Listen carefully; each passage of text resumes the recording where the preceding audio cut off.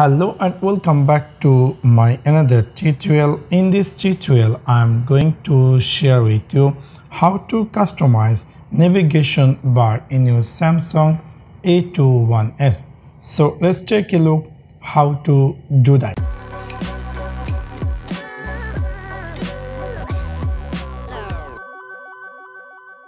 You might be recently buy this Samsung A21s smartphone and you might be jump over from different uh, brand.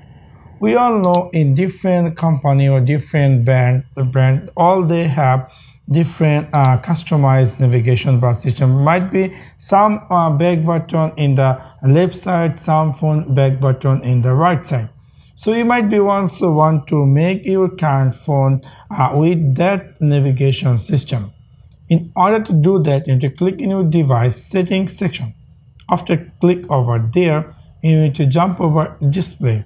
After click over this scroll down, you're going to see here something say navigation bar. If you click that navigation bar, here if you want to uh, change the button order, you can easily choose that. For example, you can see right now here is the back button. If I click this, immediately my phone back button is appear here and the recent button is appear in right side. So this way you can easily uh, change button order in your Samsung A21s.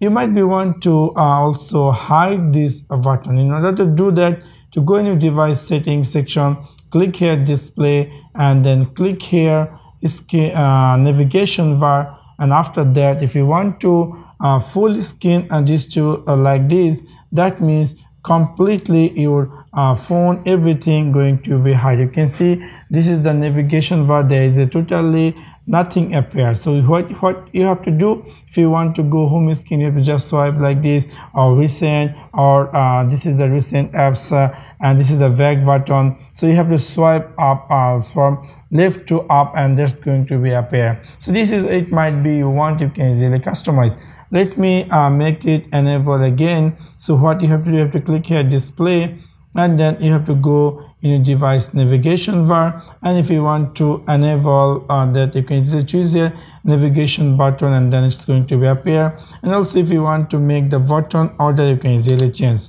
So this is how we can easily customize navigation bar in your samsung a21s so that's for now. Thanks for watching my video. See you next one. Peace.